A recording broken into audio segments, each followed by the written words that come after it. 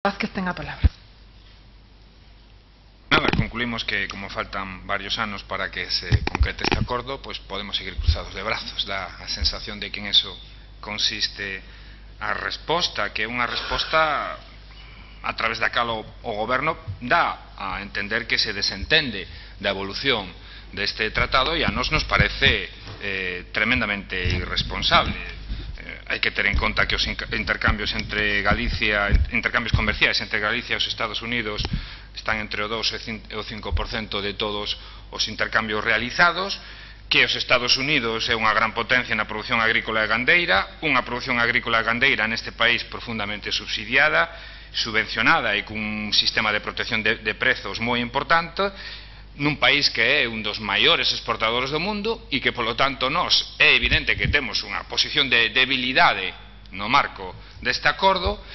Vostede di, de xeito absolutamente, dende o meu punto de vista sorprendente, que a afectación deste tratado non ten ningunha diferencia entre os estados eh, asinantes, os estados que previsiblemente serán asinantes, e eu nego esa, esa, esa, esa tese, porque Non todos os estados, non todas as rexións, non todos os países teñen unha economía tan dependente do sector primario ou de determinados sectores como é o caso de Galicia, evidentemente. E, polo tanto, nós, ademais de para exercer a nosa responsabilidade como país, como povo, pois temos unha responsabilidade, digamos, a maiores para defender sectores estratégicos como son, evidentemente, o sector da agricultura, o sector da gandería, o sector eh, do naval e unha serie de sectores que son eh, sobradamente coñecidos e importantes na nosa economía e que están a ser, se van a ver seriamente ameazados polo que sabemos. Nese contexto a nos nos parece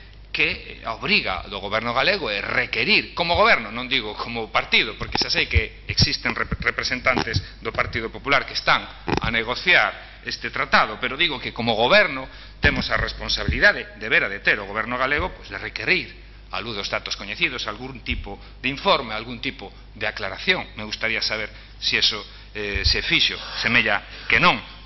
Teñamos en conta que os, me, eh, aos aspectos que contempla este tratado aluden a cuestións como, por exemplo, o feito de que as inversións transnacionais terán que acceder ás mesmas axudas que as axudas nacionais, chamado principio de igualdade. O Estado receptor non poderá discriminar os, as inversións estranxeiras,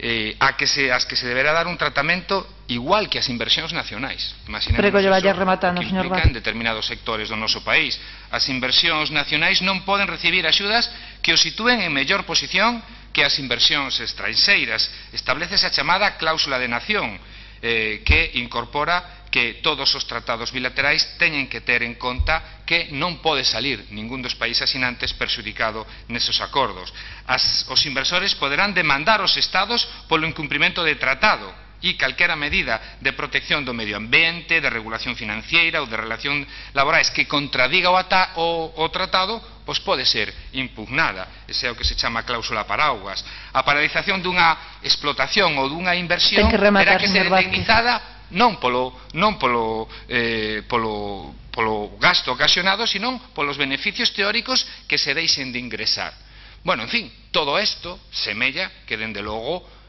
non vai a ter eh, dende logo eh, ningunha importancia para o noso país. E a min me sorprende a alternativa galega de esquerda lle sorprende esta situación de parálise e de ser meros espectadores que é o que nos sitúa o goberno galego eh, neste contexto non? é simplemente Moitas grazas, señor Vázquez, xa para pechar esta pregunta ten a palabra. Bueno, primero quería disculparme porque probablemente me expliqué